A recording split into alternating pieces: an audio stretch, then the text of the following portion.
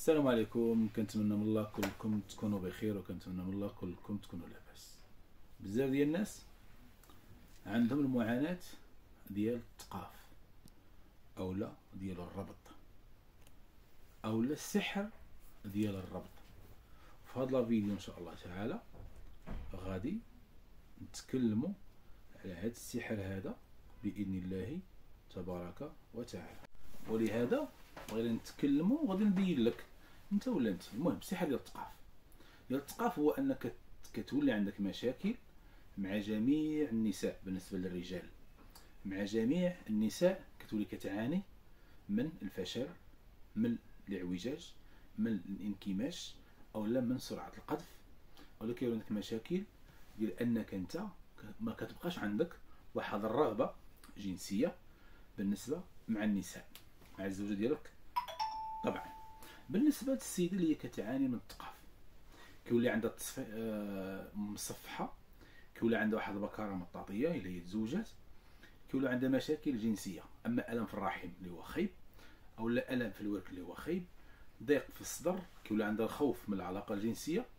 كيولي عندها مشاكل نفسية من العلاقة الجنسية. والراجل كذلك تكون عنده واحد المشاكل نفسيه من العلاقة الجنسية اللي ما كتخليش يؤدي واحد الرغبه جنسية مع الطرف الآخر. لهذا طريقة بإذن الله لا ننصحك بها.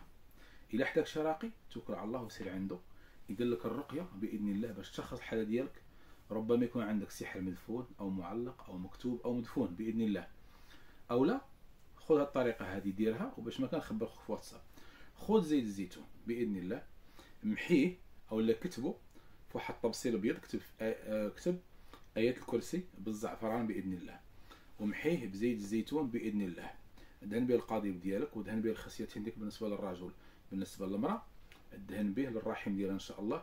وإلا كان شي حاجة شي مس أو لا شي سحر غتحس بنبض في ديك المنطقة غتحس بفشل في ديك المنطقة غتحس بالدوخة وغتحس بالالام في الصدر وتحس بمشاكل نفسية وعصبية. والله يجيب الشفاء للجميع بالنسبة للوصفة اللي غادي نعطيك بإذن الله خاصك تركز معايا وتفهم مزيان الكلام اللي غادي نقول لك وربي أكيد أنه غادي ييسر لك وغادي يجيب لي فيها الخير. وإلا ما عرفتيش الوصفة تواصل معايا نساعدك وما توفيقنا الا بالله.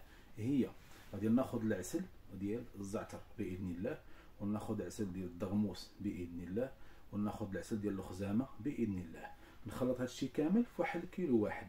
ناخذ معهم حبوب اللقاح ناخذ معهم حب العزيز غذاء الملكه طلع النخيل الجنسينغ العكبر الماكا وحبوب الياقوت بإذن الله. وناخذ معاهم شيء من الحبة السوداء وشيء من الكندر بإذن الله تعالى. نخلط المكونات كاملة مع هذا العسل هذا. بإذن الله ذكرنا إن شاء الله تعالى اللي هو عسل الزعتر وعسل الخزامة وعسل الدرموس بإذن الله.